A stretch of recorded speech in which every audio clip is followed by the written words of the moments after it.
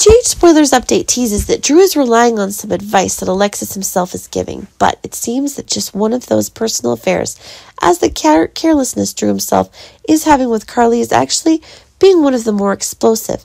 But remember that it is Drew who's afraid that Sonny himself is unable to accept those bitter truths when his ex wife is having another man.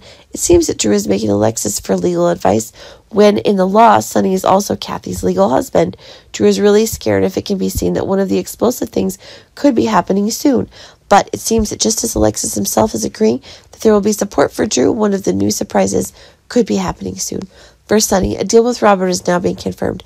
A full investigation is being directed at Holly as her expressions take on new and puzzling things. But surely Robert is not wanting Sonny to interfere too much with the facts that are going on, and it's quite certain that one of the more explosive things is going on. But just as Sonny and Robert themselves are having a rough time over how to conduct the investigation, one of the new things explodes. Holly's making one of the great demands of Robert, and from there, an object is being made.